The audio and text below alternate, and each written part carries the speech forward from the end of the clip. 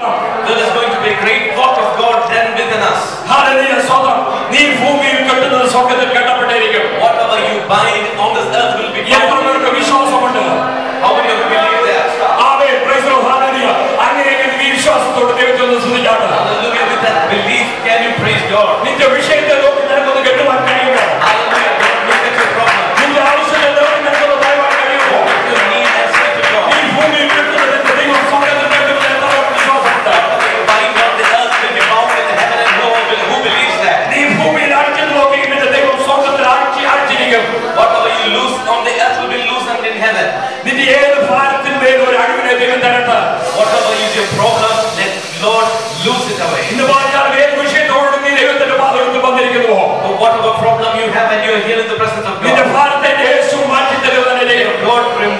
happiness from you.